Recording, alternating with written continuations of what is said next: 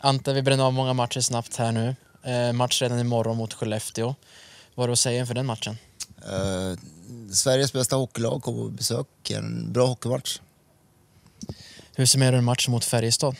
Eh, vi ger bort en eh, 75 sekunder i första perioden. Väldigt olyckligt, olycklig tid i matchen. Släpper in tre mål. Sen tycker jag vi tar tillbaka kommandot i matchen och, och har 3-2 är på väg in i det ordentligt. Straffas av en utvisning. Och femte målet riktigt skitmål, men det blir matchavgörande.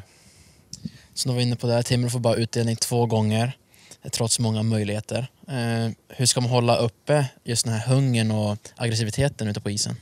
Ja, det är inget problem med det utan vi går för...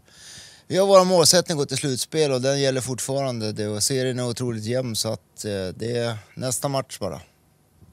Och nu är det hemmamatch som väntar. Hur viktigt är det med stödet från läktarna? Otroligt viktigt.